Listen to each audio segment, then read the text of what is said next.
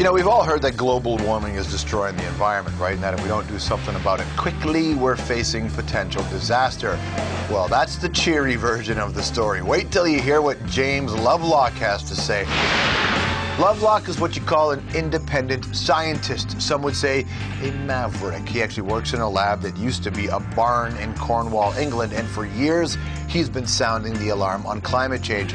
Back in the 60s, Lovelock started preaching what is now called the Gaia theory, named after Gaia, Greek goddess of Earth. Basically, he says the Earth is one giant interdependent living system that regulates itself. It keeps chemical levels, temperature, and other conditions optimal to keep life going. And then we, humans, come into the picture. Cut down the trees, we spew out pollutants, and the system is thrown completely out of whack. Lovelock says, look, we can't undo the damage we've done, and by the end of this century, he predicts that many places on Earth will be unlivable, and most of the human race will be wiped out. So don't waste your time trying to reverse climate change. He said, instead, focus on finding ways to survive the inevitable ahead. He lays it all out in his new book called The Vanishing Face of Gaia. Everybody, please say hello to James Lovelock. Um,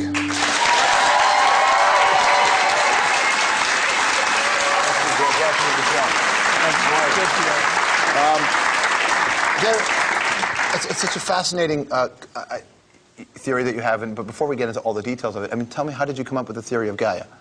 Oh, well, it, it, it, originated at the Jet Propulsion Labs in California a long time ago, 1965. But the name Gaia was given to me by a famous author. You probably know of him, uh, Bill Golding.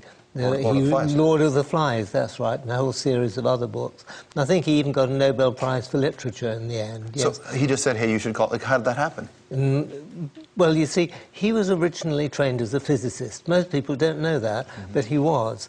And he and I lived in the same small village in England. There's only 400 people there. And we used to chat in the village pub. And he was interested in what I was doing over there in California. And when I told him I got this idea that the whole planet was looked after itself, almost in a way alive, he said, Well, you better give it a proper name. And I suggest you call it Gaia. And we went on talking for 20 minutes because I thought he meant G Y R E, right. one of these great self regulating worlds. He said, No, no, no, no, I mean Gaia, the Greek goddess the goddess of the earth. Now, did, it, did, that idea come up early in the pub conversation or much later when we have different, when, when, we've, when things have changed? Well, that'll be telling. so, you're right. So the idea of the, uh, and, uh, of the world that regulates itself, the planet that regulates itself is one thing, but now we're at this point, and one thing we had talked about is you say it's too late. Like this is, we just need to deal with the inevitability. Just for people who perhaps haven't wrapped their head around it, what is your theory that says we're done? It's not so much a theory, it's coming from observations of what's happening around the Earth.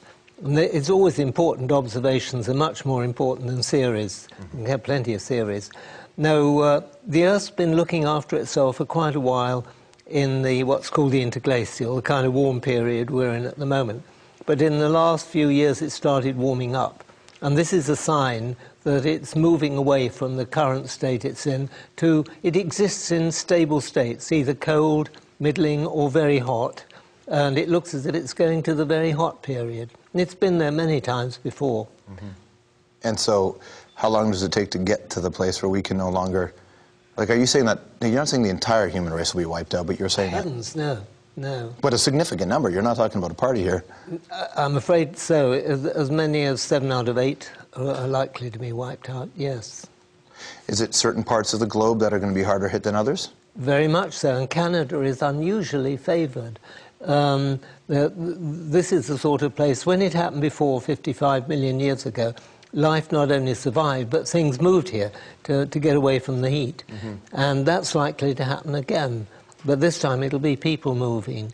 And I think the main problem for Canada will be how to handle the influx of people from outside the world and when to be able to say, no, we've got enough now. If we take any more, we can't feed you. You know, the observation can sort of, you can monitor what's happening to, to the environment. You could take a look at, you know, melting, uh, you know, of ice, I guess, around the world. But how, how, do, how do you prove that it is more than that? Like, how do you say that this is what happened 55 million years ago? How would you get to that place? Well, the evidence for 55 million years ago comes from record of sediments and looking back over the evidence, and it's pretty solid. It's like, you know, they use the ice cores from Greenland or Antarctica, and you can tell what the temperature and the amount of CO2 in the atmosphere was any time up to a million years ago, indeed a lot longer than that. And it's that sort of evidence that, that, that is pointing to the changes that are taking place now as rather like changes that have happened in the past that are similar.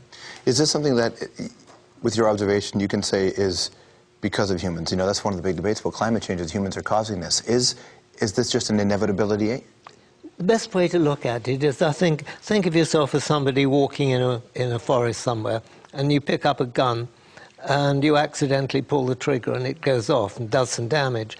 Uh, you didn't intend to do that. You, you kind of pulled the trigger by accident, and that's what we've done. We pulled a trigger on the system, and the system is now moving into another state. So let's say, like in centuries and centuries from now, this could have happened anyway, but we've just kickstarted the process. Exactly. Wow. So that means then that we should have a really good time, shouldn't we? well, it, it, won't be all bad. No. There'll be some exciting moments, I think. For sure. Is it reversible? No, it isn't.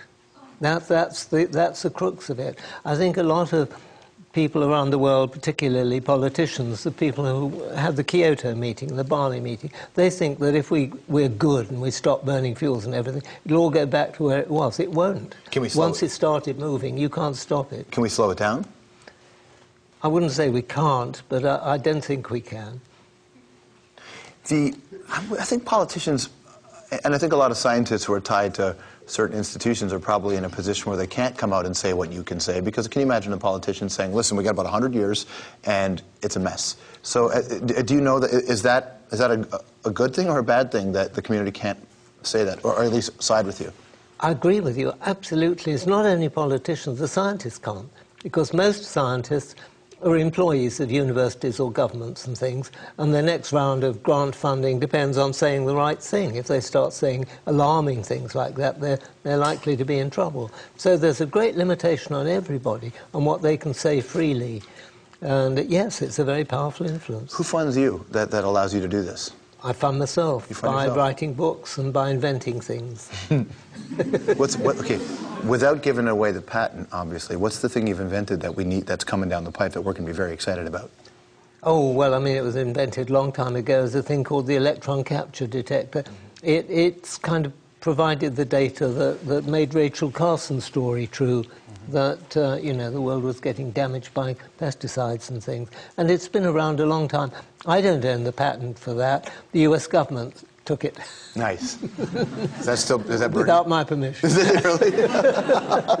Can, do, you, do you find people in governments that are willing to listen to you and take what you say seriously? Because obviously what, what you say, there are a lot of people in the scientific community who, who might agree with you, but a lot of people say no that, dis- that disagree. Do you find people in government that can agree with you? Very much so, yes. Uh, I, I, think politicians have a lousy job. I mean, somebody said it's the art of the possible is politics. Yeah. And uh, no, I think they're always willing to listen, but whether they can do anything is another matter. Uh, in terms of energy, so people are talking about how do you find renewable energy sources, uh, wind power, solar power, whatever. For you, do you, do you look at it and say, what's now understanding that is over anyway? Is there a place we should be focusing our attention on? Well, it's a matter of horses for courses. If you live in Iceland, you've got all the energy you need from hot rocks and stuff, so why bother with nuclear or anything else? If you live in Britain, you haven't any option. It's an overcrowded little island. You've either got the choice of burning fossil fuel coal or of going nuclear. Well, I think it's much better to go nuclear for mm. Britain. Uh, renewables are a joke. I mean, they will not supply uh, anywhere near enough energy at all. But they're very, very good for business. You can make a lot of money going into renewable energy. So, how do you? So the environmentalists don't like you very much, do they? No. is there a chance you're wrong in your in your mind? Of course there is. I'm a scientist, and you can never be certain about anything. Mm-hmm. And one had better really realize that. None of us can be certain. So I figured that you must have really believed in what you're saying because you're going to space, and I thought maybe you're going to try to colonize. Um, are you are you on the Richard Branson flight? Is that the, apparently you're on that flight? Yeah, it's the ultimate upgrade, isn't it? Yeah, no kidding. how, how, uh, how, did you get on the Richard Branson flight? Well, I guess Richard Bra- Sir Richard Branson read some of my books and seemed to like what he heard, and he sent me an email saying, "Would I like to have a free ride up into space?" So I said, "You bet." Did he try to name something? Did he try to take your name, the Gaia theory, or something? Use Gaia to launch a product or something? Uh, I think he did, and uh, I did email him beforehand saying, no, that was biofuels. Biofuels. And I don't think they're a good idea at all. And I said, no objection to his using biofuels, but don't go and tie Gaia to it, because it isn't a Gaian idea. It's amazing. You got to read this book. It's called The Vanishing Face of Gaia. James Lovelock, everyone. Thanks for coming in. James Lovelock. All right, we'll be right back.